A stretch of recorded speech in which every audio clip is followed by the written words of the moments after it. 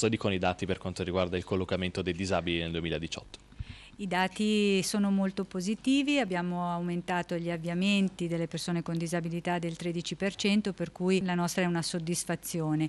Inoltre i dati hanno visto anche la nascita di importanti progetti di collaborazioni territoriali, mi riferisco al progetto Tecnortus con l'azienda Tecnoprobe, la cooperativa Paso, mi riferisco inoltre al progetto Disability Manager che ci sarà presto un convegno conclusivo e la collaborazione con gli ambiti per la gestione del REI, cioè il reddito di inclusione che eh, appunto ha permesso di gestire in maniera coordinata questa misura e che ci auspichiamo possa proseguire per il futuro.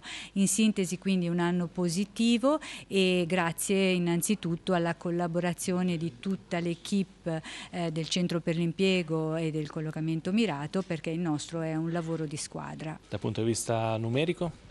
Allora, sono stati 563 gli avviamenti al lavoro e complessivamente abbiamo avuto oltre 500 tirocini, di cui 309 eh, di adozione, cioè quei tirocini particolarmente rivolti alle persone eh, con molte difficoltà.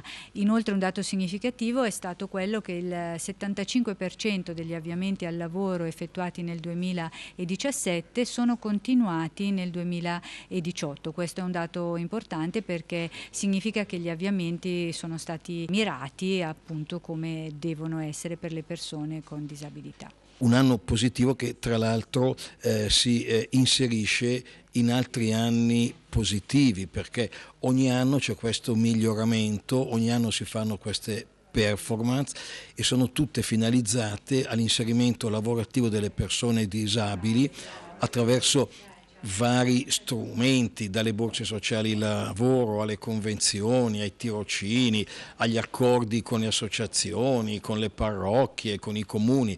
Quindi un anno buono perché siamo in evoluzione positiva rispetto agli inserimenti lavorativi.